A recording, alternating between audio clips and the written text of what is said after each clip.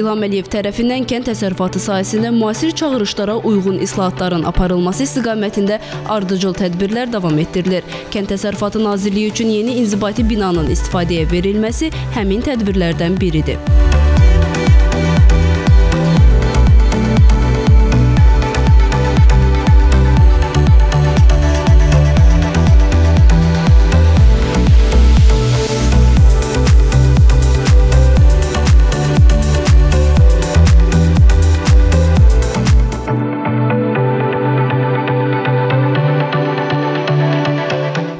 Foyesində əbədiyyət kompozisiyası nümayiş olunur. Üç hissədən ibarət olan kompozisiyanın rəmzi motivi Azərbaycan xalqının ümumilli lideri Heydər Əliyevin anadan olmasının 100 illiyinə həsr olunub. Müəllifi rəssam, heykəltaraş Rəşad Mehdiyov olan kompozisiyanın əsas ideyası Azərbaycanın qalib və firavan dövlət olmasının Heydər Əliyev irsindən yararlandığını simvolizə edir. Yağlı boya ilə ərsəyə gətirilən əsərdə əzəmətli dağın və buğda zəmisinin üzərindən səmaya doğru pərvazlanan göyərçinlər qələbə işarəsini yaradır.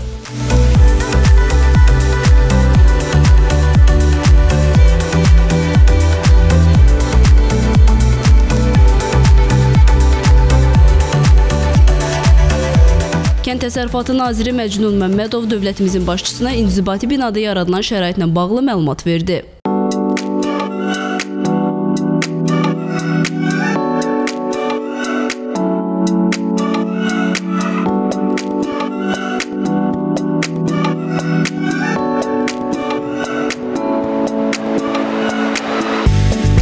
Paytaxtın memarlıq üslubuna uyğun inşa edilən müasir inzibati binada 215 işçi, 40 texniki otaq mövcuddur.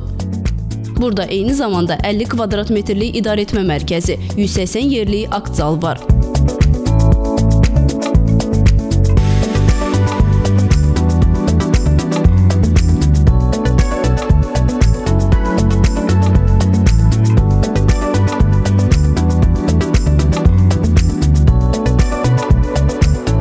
Dövlət vəsait hesabına tikintisi həyata keçirilən inzibati binanın ümumi sahəsi 17224 kvadrat metrdir.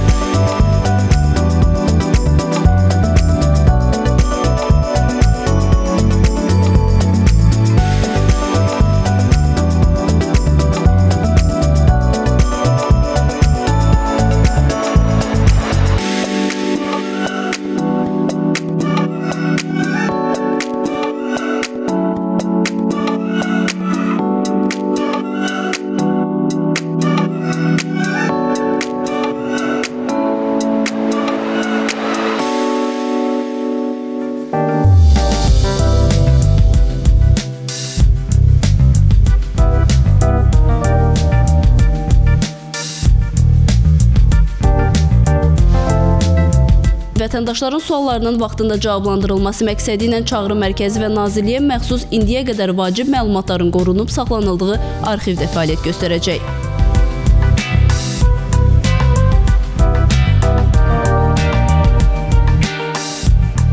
Bu binanın istifadəyə verilməsi ilə artıq aqrar sektorda fəaliyyət göstərən strukturların kompleks fəaliyyəti təmin olunacaq. Burada eyni zamanda innovativ və rəqəmsal texnologiyaların tətbiqi genişləndirilib. Kənd təsərrüfatı sektorunun inkişafı, müasir və yeni çağırışlara cavab verməsinə dəstək məqsədi ilə Prezident İlham Əliyevin müvafiq sərəncamı ilə tikintisi həyata keçirilən yeni inzibati bina Xətai rayonu Nəcəfqulu Rəfiyev və Süleyman Vəzirov küçələrinin kəsişməsində yerləşir.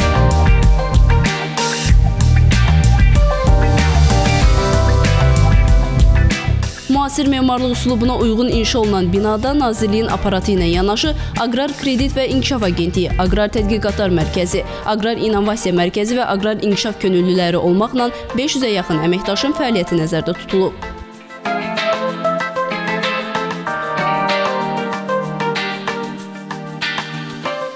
dörd mərtəbədən ibarət olan binada nəqliyyat vasitələri üçün yeraltı və yerüstü dayanacaq da mövcuddur.